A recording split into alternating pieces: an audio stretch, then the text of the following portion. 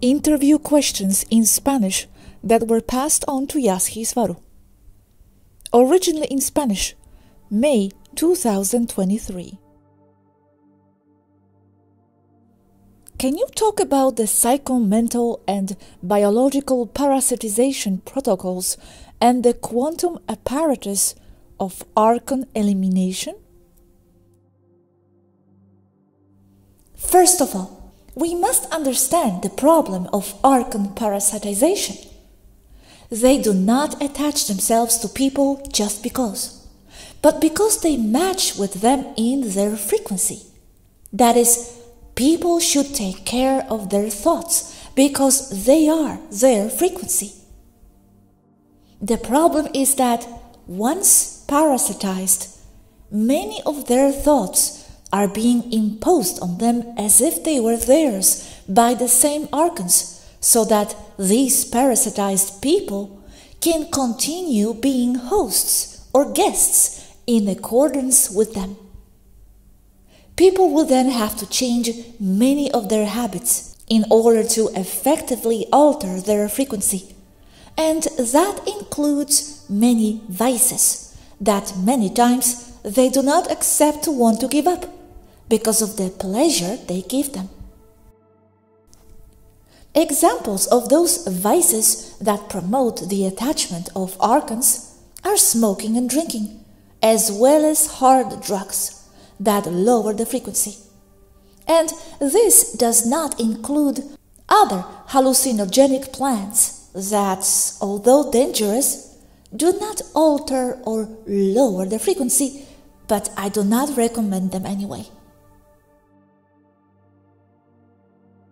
As for the machine, it is basically a dry medpod that imposes frequency on a person. The device manages to alter the vibratory frequency of the subject and raises it, with it no longer matching that of the archons and astral parasites. An example of such a pod would be Dale Harder's device. But other convenient and easier to implement devices are sensory isolation systems. The more elaborate, the better, where the subject is placed in a chamber with water at a comfortable temperature, in the dark but with good ventilation, and with special music or silence. So, a device would be able to alter the subject's frequency? Yes, that is the nature of how the machine works. The host is no longer compatible with the entity and it leaves. The problem is that if the subject fails to sustain that new frequency with his thoughts and his habits, the archons may return, especially since they already know the person. Remember that we are all subject to interference and inspiration from non material beings around us, and who we connect with depends only on our personal frequency, which is mostly our thoughts. But wouldn't it be like trying to cure cancer with a medpod? You couldn't because it is something from outside the body, right? As I mentioned, the change of frequencies must be maintained with the subject outside the pod.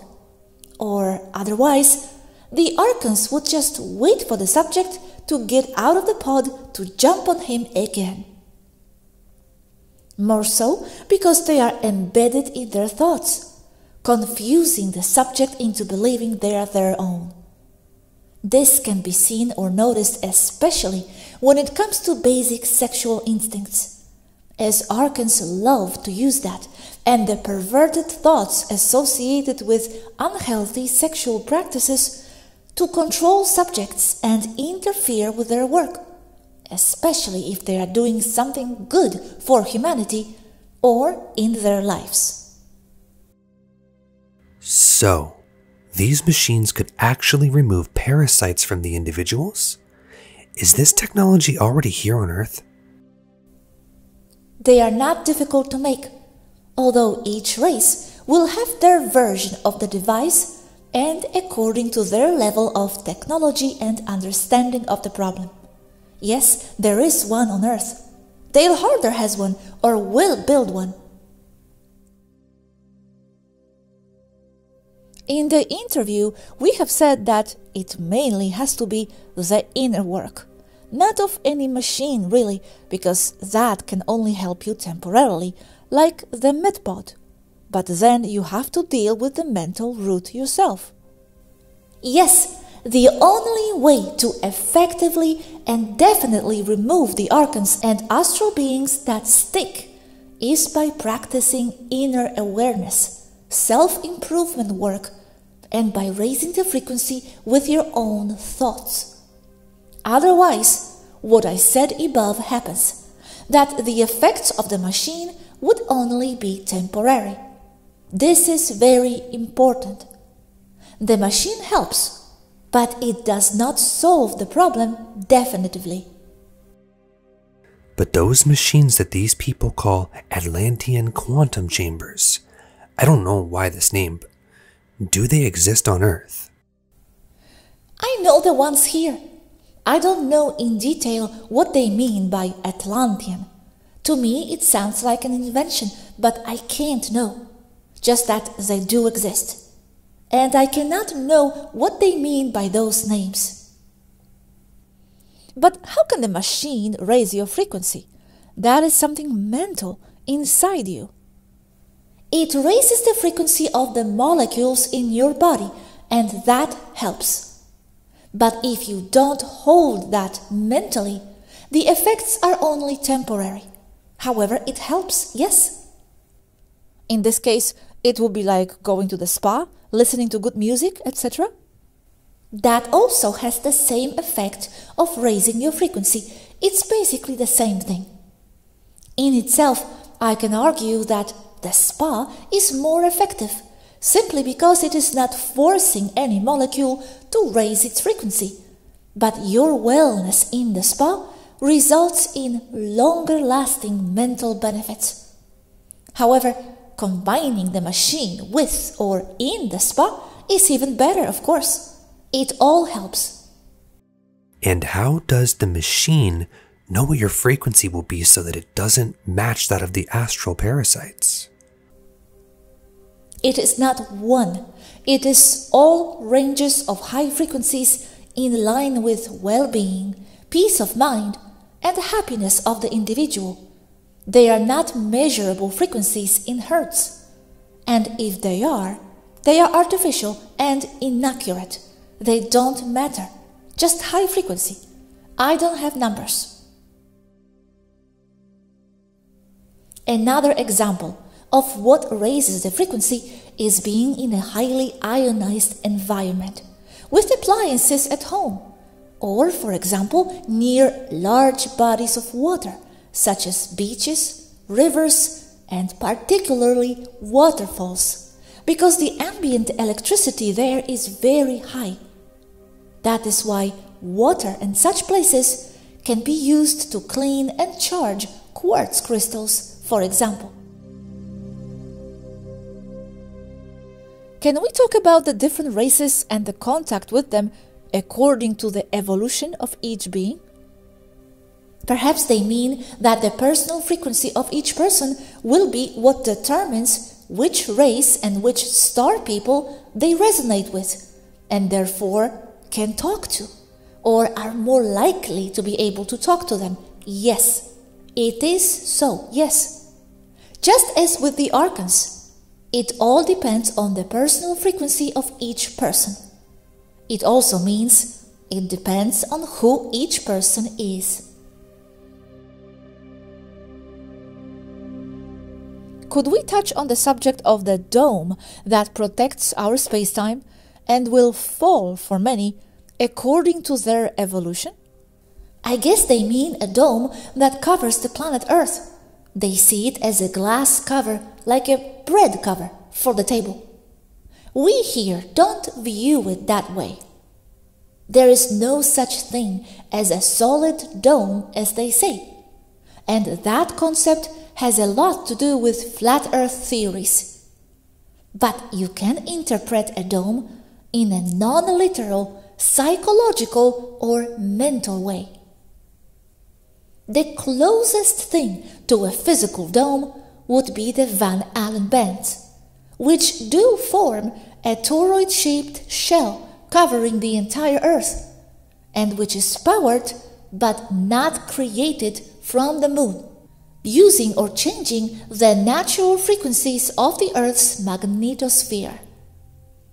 Another dome is the psychological containment of people in a realm called the terrestrial matrix. Can we talk about the loss of time that comes from not understanding the different veils that must fall on every being and how to accelerate the fall of the veils? Oh, that can be interpreted in different ways. What loss of time? The events of lost time that occur in abductions?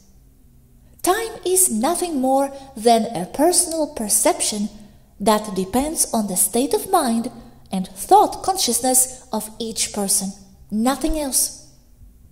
As for the loss of time due to abductions, it happens mostly because they extract the subjects, removing them from their original environment, causing a time lag due to their altered state of consciousness. The notion of time is lost as it happens when a person falls asleep or they can erase their memory, but that's another story. What are the veils that must fall?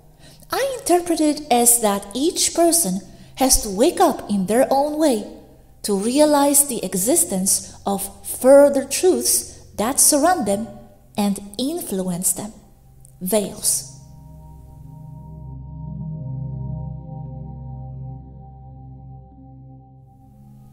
Let's talk about the different states of evolution that are being experienced at this time and how to measure the personal one. Different states of evolution of what exactly? I assume that of evolution of consciousness in or of each soul. To classify the evolution of someone's consciousness seems to me to be very human and artificial. You can't categorize states of evolution or only very loosely and with definitions that are ambiguous and don't apply to everyone. Still, I could say that the first state is to believe everything they are officially told. Then, the realization of officially accepted but basic false things, like that elections are rigged and that politics and religion is just to control people. Then, realizing that they are not alone in the universe, that in the end, they are the original source having a human experience. I don't have, or we don't have, different steps of spiritual evolution as such. There are many on the internet, and each spiritual teacher will have their own and in their or from their point of view, they are valid. Limitedly, of course.